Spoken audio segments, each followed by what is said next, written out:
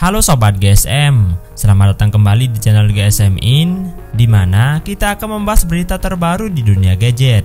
Baru-baru ini, gosip tentang Redmi K70 sedang heboh di jagat maya. Dan kami punya semua informasi terbaru yang akan membuatmu semakin tidak sabar menantikan peluncurannya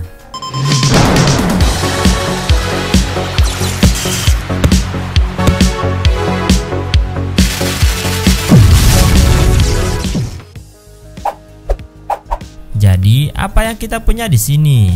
Nah, telah terjadi bocoran skematik dan render tiruan yang memperlihatkan desain dari seri Redmi K70. Tetapi bukan hanya itu, kami sekarang memiliki gambar-gambar yang segar muncul di internet, memberikan kita pandangan yang lebih dekat pada desain keren dari Redmi K70 dan saudaranya K70 Pro. Pertama-tama, mari kita lihat Redmi K70. Dari gambar yang kita lihat, tampaknya akan hadir dalam warna putih elegan dengan tiga kamera yang menonjol di bagian belakang, disertai lampu LED flash yang membuatnya semakin bergaya. Tidak hanya itu, tapi ponsel ini terlihat begitu mengkilap dan menurut laporan dibuat dengan bingkai logam yang kokoh.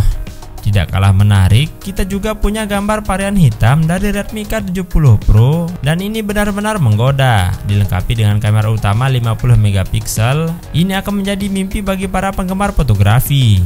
Tepi atas perangkat ini juga terlihat memiliki mikrofon, IR blaster, dan kisi-kisi speaker yang membuatnya tidak hanya cantik tetapi juga fungsional. Di sisi bawah kita melihat grill speaker yang elegan, port USB-C, mikrofon, dan tentu saja slot kartu SIM. Dan sekarang mari kita bahas dapur pacu dari duo ini. Kabarnya Redmi K70 dan K70 Pro akan mengandalkan chipset Snapdragon 8 Gen 2 dan Snapdragon 8 Gen 3, menghadirkan performa super canggih. Tapi itu bukan akhir dari cerita. Varian K70e juga akan ikut serta dengan chipset Dimensity 8300 yang belum dirilis. Bagaimana dengan tampilan layarnya? Kedua perangkat ini akan memamerkan panel OLED yang super tajam dengan desain layar datar yang memukau. Redmi K70 dikatakan mendukung resolusi 1,5K, sementara saudaranya yang Pro akan menawarkan resolusi yang bahkan lebih tinggi yaitu 2K. Dan yang paling menarik, jajaran Redmi K70 akan menjalankan sistem operasi Android 14 berbasis HyperOS.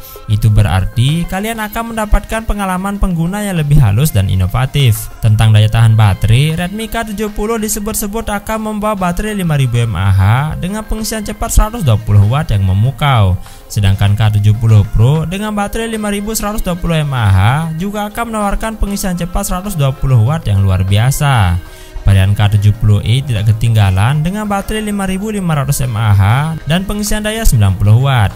Jadi kapan kita bisa mendapatkan tangan kita di perangkat-perangkat yang keren ini? Menurut laporan, Redmi K70 series diharapkan meluncurkan diri pada akhir November ini. Jadi pastikan untuk tetap terhubung dengan channel ini agar tidak ketinggalan informasi lebih lanjut. Jangan lupa like, share, dan subscribe untuk tetap update dengan berita terbaru dari dunia teknologi. Kami akan kembali dengan pembaruan terbaru secepatnya. Sampai jumpa di video berikutnya.